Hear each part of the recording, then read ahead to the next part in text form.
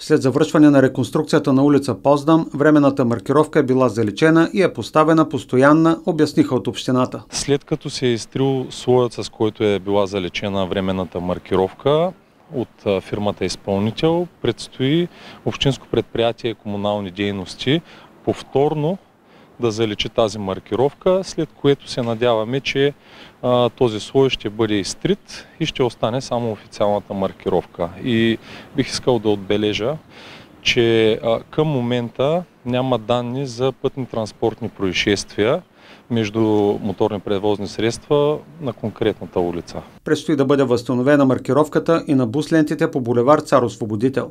Следствие на ремонтите, които бяха направени от ВИК дружеството, голяма част от бус лентите бяха засегнати. Знаете, че има срок, в който ВИК дружеството трябваше да отстрани недостатъците и когато те бъдат отстранени, Общинско предприятие комунални дейности ще положи съответната маркировка за бусленти. Полагането на маркировка става по график, уточни Никола Лазаров. Към момента машините, с които работим, са в годишна профилактика в рамките на тази седмица. От следващата седмица продължаваме по този график да поставяме маркировки. Очаква се полагането на новата маркировка на бус лентите да започне още през този месец.